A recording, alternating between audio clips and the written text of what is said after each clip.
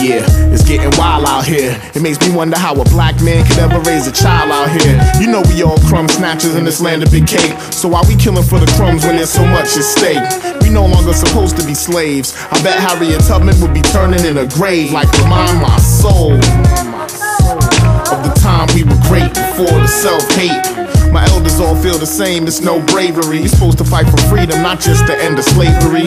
Are we too selfish to even bless the kids with jewels? So our youth don't get played out for fools? Or will they get programmed how to behave? Malcolm X must be turning in his grave, like remind my soul